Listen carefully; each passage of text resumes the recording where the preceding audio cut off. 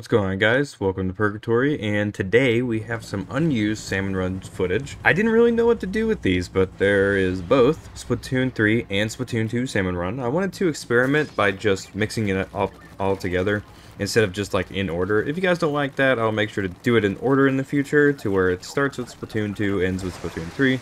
Now about the last video. It did a lot more numbers than I thought, and most of the responses were very positive. In the end, it's just a theory. Thought I would just, you know, share my perspective on the whole thing. Thank you again for the support on that. Lastly, there's a gold rotation happening on Splatoon 2 by the time I'm uploading this, and I hope to see you all online and that you enjoy the video. Make sure to leave a like if you did, and subscribe if you're brand new to the channel, and let me know. Did you have a good day? I don't... I hope you all have an absolutely fantastic day. Enjoy the video.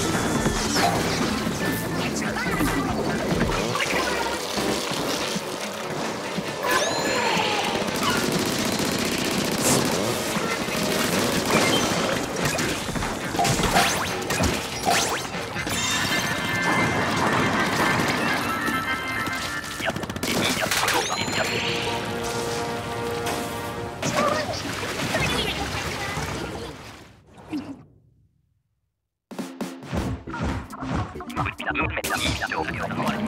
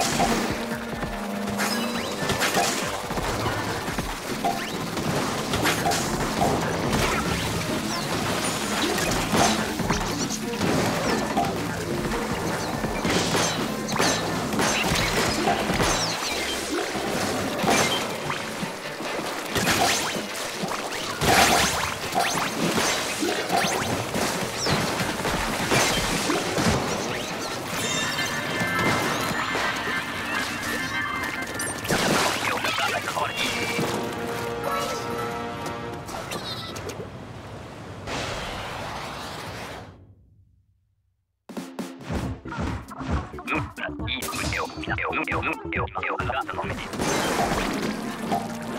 you.